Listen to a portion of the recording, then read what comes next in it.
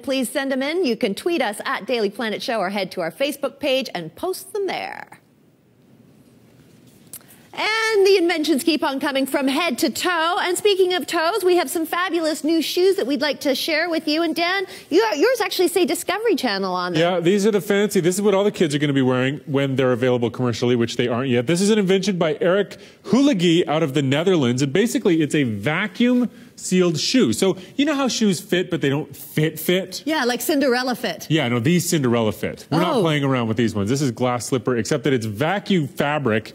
It's this new stuff that he makes on a 3D printer. You basically take a vacuum mold of your foot, so it will fit totally perfectly.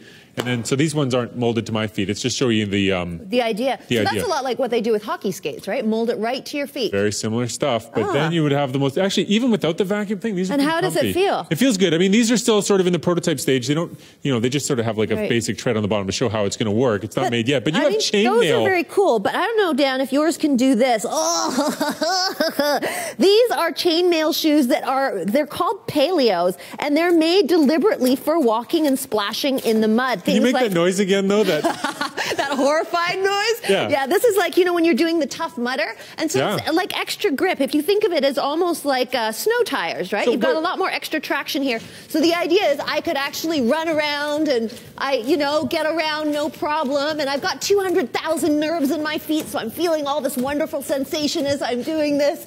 And you're Chainmail kicking mud all over our studio. Oh, Perfect. geez, I am so sorry. Anyway, but yeah, some fabulous new shoe designs. Maybe we'll be seeing these on the shelves soon. I think I'm going to stick to my heels. the future of shoes.